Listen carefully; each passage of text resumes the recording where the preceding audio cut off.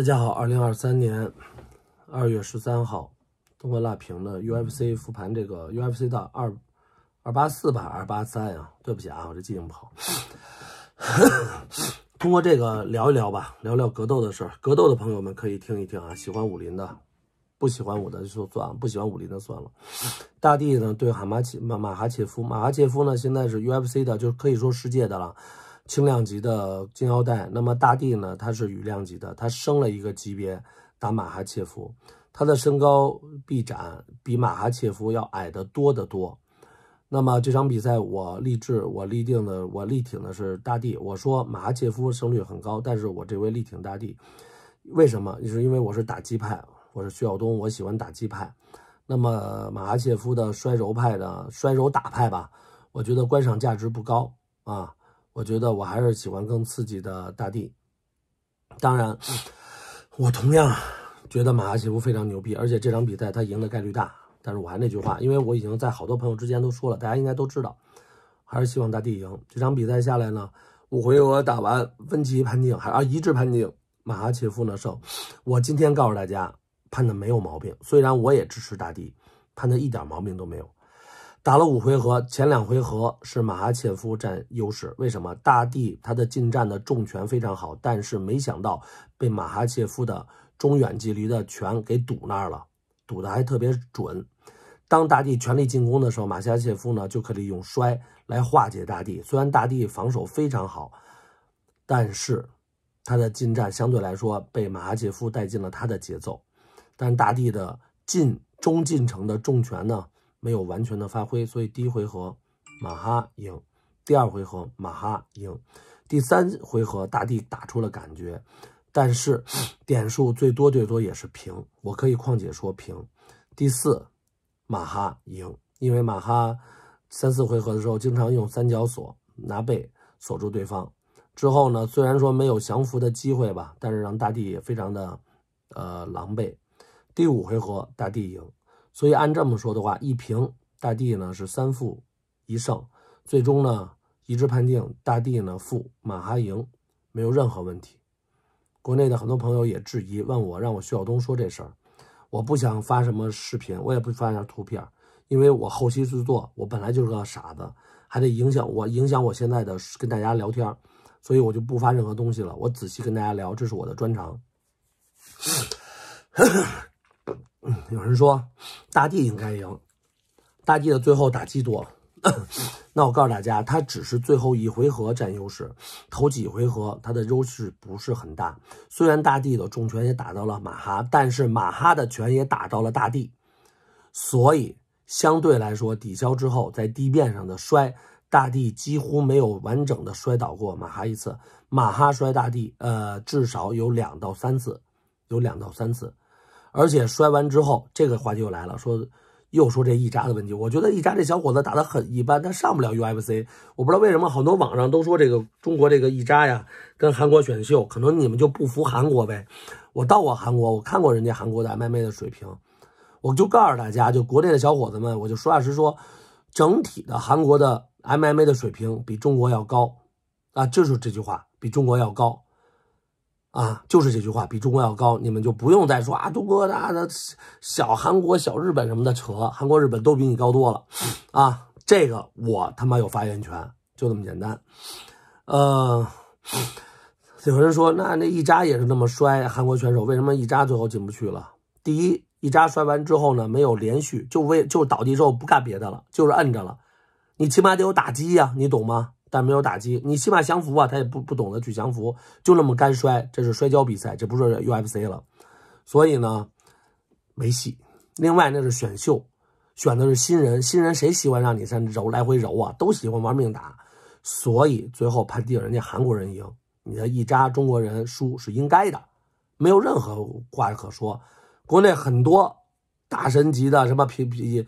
就是评论员，我觉得你们投，你们真的就在这一刻，你们一个个的都够笨的。我徐晓东说的，说所有的国内的点评员有一个是一个啊，我说的，你们要觉得不服，我有他们所有人的微信，直接找我来，我都问了，没有一个人敢跟我说话的，就是这句话，别别再被蒙了啊！人家是选秀，选的是积极向上的，你一扎一扎上来就摔，没有其他联络，赢不了，知道吗？就这么简单。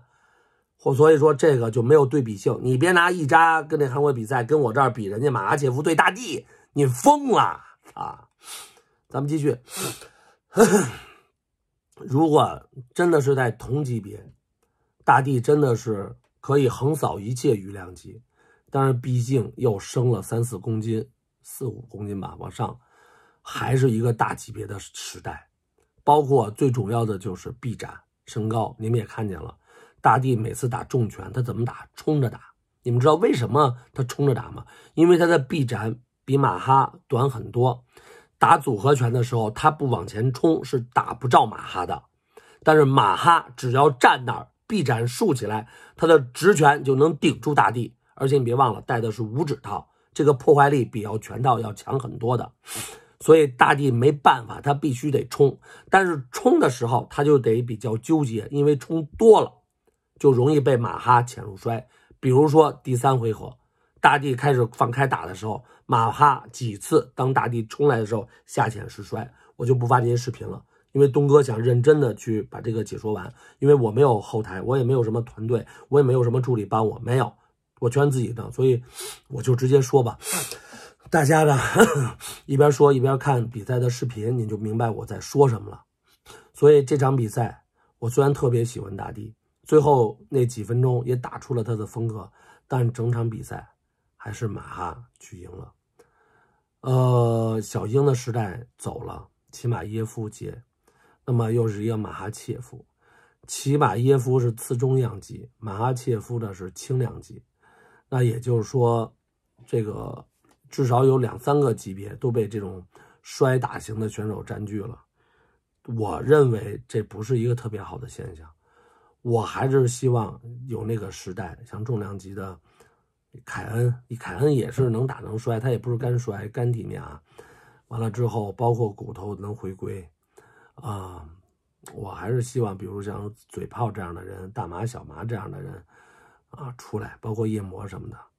如果真要是喜欢摔的选手的话，东哥在 UFC 里头，可能我更喜欢，呃，我可能更喜欢 钱德勒。哈哈哈因为他赢赢的牛逼，输输的壮烈。你看他赢赢夜魔多牛逼啊！那一脚，我操，输钻石啊，输其他的多惨呀，输的。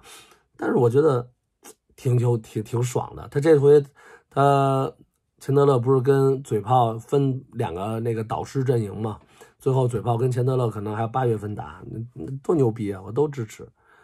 嗯，所以总的来说，我还是喜欢打击派的时代。打击派是永久不变的，不管是从视觉上，还是你精神经历上，还是真正你看完之后想练想学，和街头的防身，一定是打击派。很多人就跟我说：“东哥，我是练摔跤的，我街头防身好，还是说我练拳拳击的，练打击的街头防身好？”我就告诉你，如果是您，您是一对一的情况下，摔有时候比拳头更管用。我说的是一对一的情况下。如果您是一对二、一对三、一对四的情况下，那么一定是打击，一定是打击。（括号尽量不用腿，齐怼盘偏空，尽量用拳。如果对方跟你一对一或一对二，你可以用腿。很多人说东哥不对啊，我看很多电影，不管是黄飞鸿啊，还是原来西方的尚德云顿呀，包括成龙啊，人都靠腿。你们知道为什么吗？因为靠腿的话好看，人家拍的是电影。人家是花钱买票进来看的，花钱人电影花了钱了，得有收入，所以怎么好看怎么精彩，他们用什么，这老百姓爱看什么，腿好看他们就用。但是现实打架当中，你们记住东哥的话，全世界的朋友们，一定是先学拳后学摔，腿是干嘛用的？记住我的话，下面的话，我专门说防身啊，腿是干嘛用的？对于防身，社会上打架来说，你的腿只能用于锦上添花，就是你拳摔特牛逼了，拳啊腿特牛逼了，完了之后，完了再骑骑漂亮的腿给他们搞搞定，锦上添花。腿一定不是雪中送炭。我操，我拳打不过他，我摔摔不打我骑腿，我呸，你就死了，知道吧？所以不要迷信腿，腿，当你练好拳和摔的时候再练腿，就我给大家的一个推荐啊。东哥跆拳道，其实跆拳道练好了、练厉害了也挺厉害的。但是呢，我说那个好跟厉害呢，需要很长的时间和很高的实力。有这个时间，有这个实力，你可以把拳和摔、摔和摔全学了。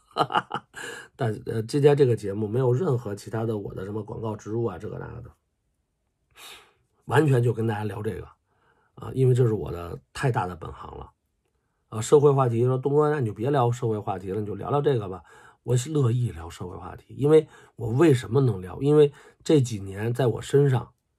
在我身上发生了太多事儿，我看见了太多的阴暗面，所以我睁眼了，所以我想他妈说出来，就这么简单。